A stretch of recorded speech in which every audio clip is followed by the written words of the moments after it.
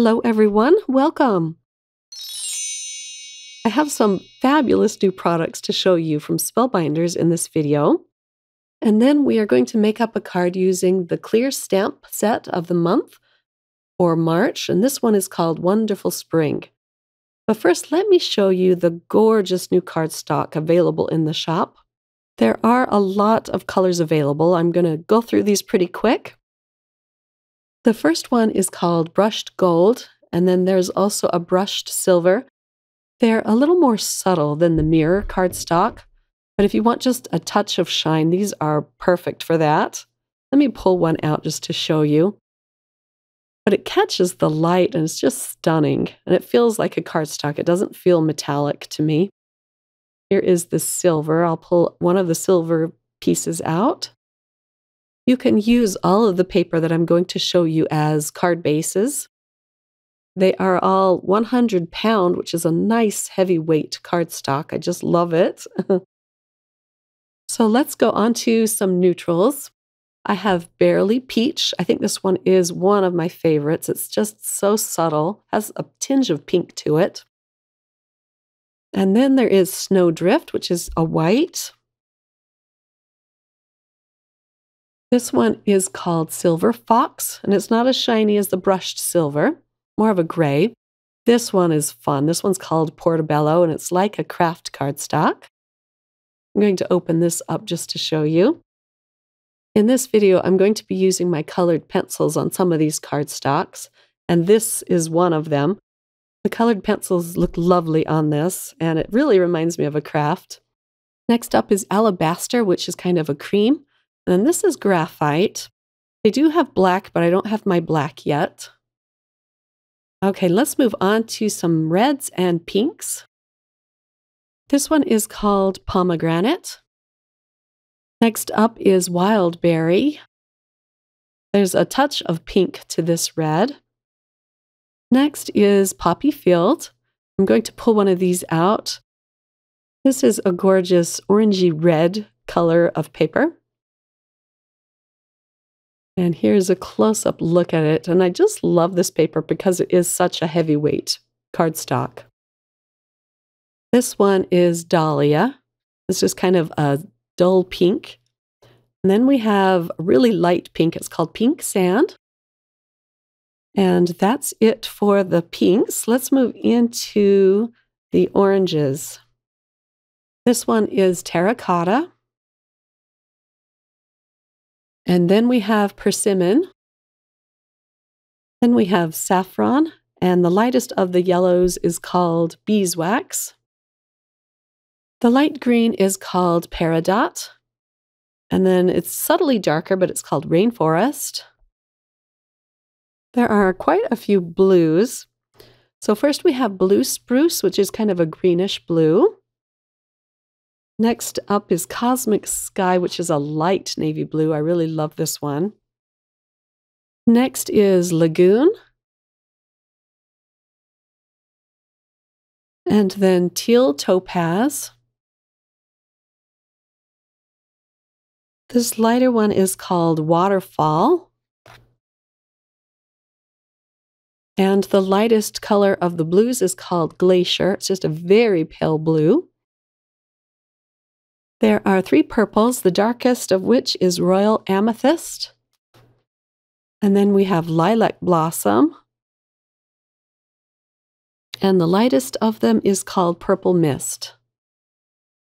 I'm going to pull one of these out and show you. It's such a gorgeous lavender color, pale lavender. So the small die of the month is called Wonderful Spring. And this stamp set just has the most wonderful little bunnies in it. They are so beautifully drawn. I'm trying to figure out which color I want to stamp them on because I'm going to do a little bit of colored pencil over colored cardstock. And I decide to use the Barely Peach. Coloring on colored cardstock is something that I really love to do. It gives you a fun base color to start with. And this particular paper has kind of a fine texture to it. So I really enjoyed coloring on this. often I don't like to color on white cardstock just because there's no tooth to it. It's just too smooth and I can't get a lot of layers down. But colored cardstock is a different kind of animal. So I cut this down into a five and a half by four and a quarter inch panel. That's just a little more manageable to start stamping on. So I'm going to stamp all three bunnies at once. These are beautiful because they have the shading lines already on them. So they were very easy and fun to color in. I'm going to stamp these up using some VersaFine Clair ink. This is called Acorn, and it's a very warm, light brown. It is a pigment ink, so you do have to be careful not to smear it. Let it dry for a minute. I'm going to stamp this up twice. The little face on the bunny on the bottom right didn't stamp out dark enough. I'll put my ink away, pull out the paper, and look how cute these bunnies are. You wouldn't even need to color them if you didn't want to. but of course, I can't resist coloring. I'm going to sharpen up my pencils using kind of a new crafty tool to my craft room. This is called a brass bullet and it just takes off a skiff from your colored pencils. It doesn't eat them up like some sharpeners do. And it has a nice weight to it. It's not like one of those cheap plastic ones that you can barely hold on to that just fall out of your hands. They're so light. This feels nice in your hand. It's just kind of a heavy duty little pencil sharpener. I'm using my Caran d'Ache Luminance colored pencils, and I just pulled out a bunch that I thought would work with this color of paper. I'm starting with my light browns first. I tried using white, but it didn't show up too well on this paper. Please forgive my voice. I'm getting over a sinus infection. It's just that fun time of year that I always seem to get sinus infections. And then I go progressively darker with my colors. I started adding pink on this bunny's coat, but I didn't like it too much. So I'm just going to reserve the pink for their little ears and some cheeks and their noses. So again, I'm using the palest brown color first. I'll put a little bit of pink on their noses, ears, and cheeks, and then just start adding darker colors in the shadows. It's a really fun technique to color with your colored pencils on colored paper so if you haven't given it a try, I highly recommend it. And then the outcome is just fabulous. It looks so pretty. You can also go the opposite way, use a dark colored paper, and then just use lighter colored pencils on it to put in the lightest areas. Look at these cute little chubby bunnies. So much fun to color. Here they are, all colored in. I am going to pop this back in my Mini Misti just to crisp up the lines. And this time I only ink them up once. It's all that's necessary. Sometimes the colored pencils can dull your lines. But look at that. They look like they're straight out of a storybook. They're so cute. I'm going to fussy cut them out off camera. And then I'm using some Becca Feeken dies to cut out some panels for my card. We're going to do a little more stamping and coloring, this time on the Portobello colored cardstock. I'm going to color in the little flower wreath. And we'll just kind of snug it up in the corner of this hexagon. I'm going to use the same brown ink. And then I can just flip my hexagon paper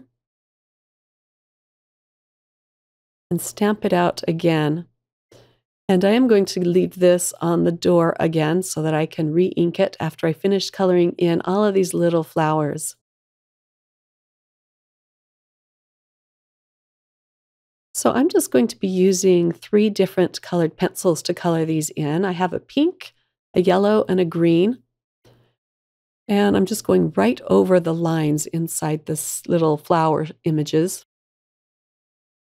I like to have a nice sharp pencil, so I leave my pencil sharpener out on the desk so that I can keep the tips of these colored pencils sharp. Then I'm just doing pinks and yellows. The green stems, I'm just going outside of the lines. I just want the greenery to show up a little bit. It adds a nice touch to it. Okay, now that the coloring's done, let's put it back in the Mini Misti and restamp our lines.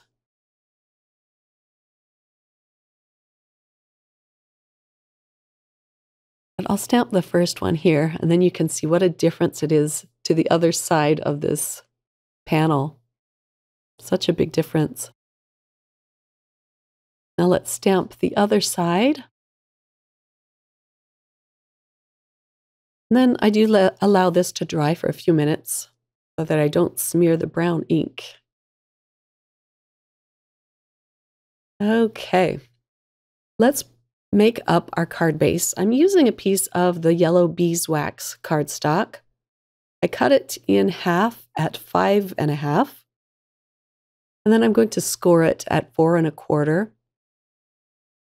I score it several times just because this is such heavyweight cardstock. And then I bend it using the edge of my scoring board and then just press the fold down flat. They just make up lovely card bases. I'll try to flatten it even a little bit more. Such heavyweight cardstock that it doesn't close all the way. But that's all right. I like to use heavyweight cardstock for my card bases. Now let's put this panel on next. I love how you can see the yellow cardstock behind the filigree. Now for the Portobello panel. These are all just going down flat. And then I'm going to pop up my bunnies with some foam adhesive. I'm going to use two bunnies on the outside and then one on the inside.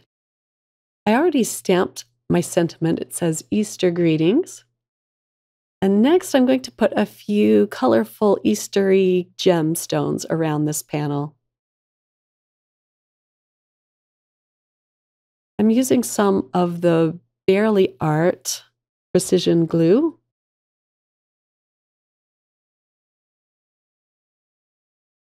I like the really fine tip on this. I popped up my sentiment with some foam adhesive, but it just needed a little something more. So I'm wrapping some twine around the edge of it. If I had known I was going to do this, I would have stamped my sentiment a little more to the left to give me a little room, but it turned out okay.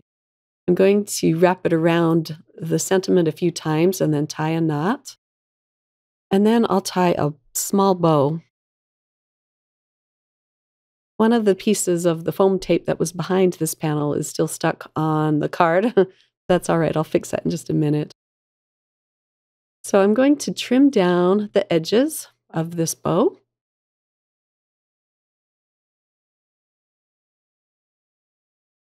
And then I can peel up that foam piece there. I try to put it down onto the foam piece, but I couldn't get it even, so I'm just going to fill it up again and put it on the back. On the back of this, you see another sentiment. I couldn't decide whether I wanted to use Happy Spring or Easter Greetings. There are a lot of beautiful sentiment stamps in this set. I'm going to use a micro dot behind the knot on this bow so that it stays in place. And here is a close up look at the finished card. I had so much fun with this one. On the inside, I used the third bunny, as well as the sentiment that says, Wishing you all the wonderful gifts of spring. I'll have the links to the stamp set as well as to all of the gorgeous colored cardstock below and over at my blog. Thanks so much for joining me today. I hope you all have a wonderful crafty day. Bye.